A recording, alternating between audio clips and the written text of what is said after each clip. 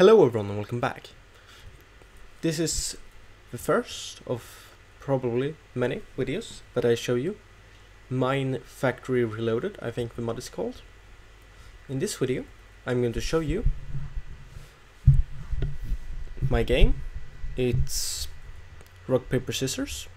I've built one with RedPower, but this is a lot different.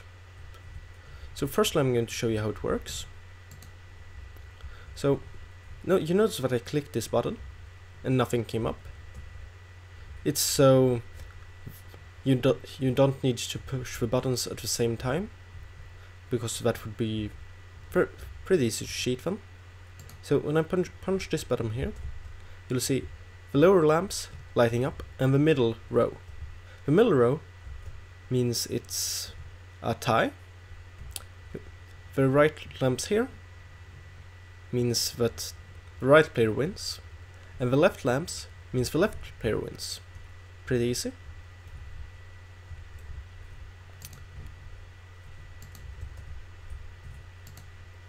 As you see now, the left player won, and the black button is just a reset.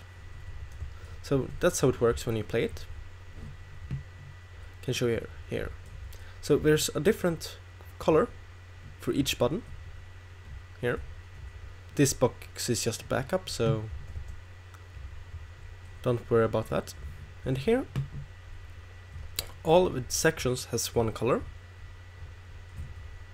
Let's see. So this section is blue, this is white, orange, magenta, green, lime, yellow, light blue, and brown or something. So this is an expanded pro programmable box or what they called. Let's see here.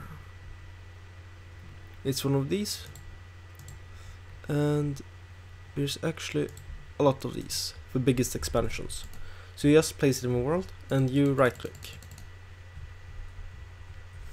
So here, this is the first page. It's an SR latch. It's it's uh, remembering which button you pressed. So in this case, it remembers the white button from the east side. That's here. And this value will reset it. And its output it is 1 and it has no no inverted outputs. Here's the difference here is let's see here. The reset number is different and the color in these. There's, these are pretty much the same.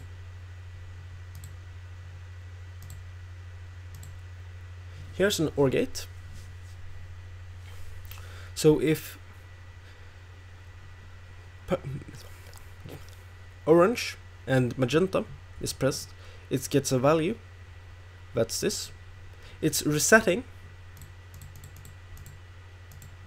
this one.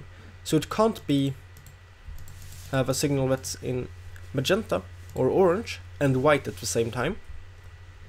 So you can only have one of the three different colors memorized at the same time, so you can't cheat. Like having rock, paper, and scissor when you are only supposed to have one. So I have one of these for every one. So for white, yellow, and whatnot. Same here. Just different outputs for resetting. And here's what determines if the player numbers can be shown on the screen or at least the next step is. Here is all the different outputs from the first uh, free from the first player. It's the outputs from the SR latches here, here and here. So if one of these are on, the variable 7 is the output. This is the same but for the left hand player and the variable is 8. So here you must have 8 for white to come out, as here, must have 8. So one of the left-hand players must one the left-hand player must have chosen one number, or yeah, pressed one of the button for orange to show. And this is for magenta, and this is for the left-hand player. Let's see what are these? And output. Let's see here. This determines the winner. So the variable 1 and 4 gets one output, it's 9. And I can't have a color here that shows the winner because this cube can't output the same color from the same way or something. It's something wrong, I think. So it didn't work, so I had to do this way with an AND gate. So when 1 and 4 is pressed, it's yellow and, uh, not yellow, white and light blue is pressed, we get 9 as an output. Or not an output, a variable. Same thing here, but with 1 and 5. So the first one was a draw, this one is a, or a draw, a tied. This one, I think, one is winning, and I think this one, uh, the one is losing. Or probably the opposite way, better said. But these are just the same. And if you want to make this game, you could probably just copy everything. So here's an OR gate. You saw all the different variables. So these variables here, all these ones, they got out here.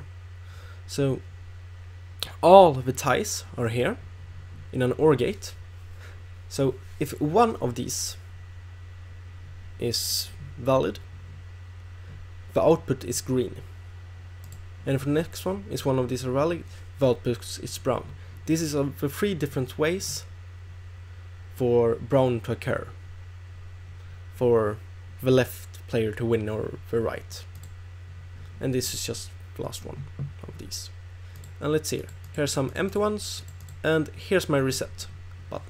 it's just black input and goes through the resets for all the SR latches, all of these, as you see here. So this is my game. It doesn't have um, bot yet, but I haven't figured out how the randomizer works in this mod yet, so I might make an updated video that shows you how that works. So if you like the video, like it. And if you want to see more videos like this, subscribe to my channel. And if you have any questions, leave a comment and I will hopefully answer it as quickly as I can. And see you!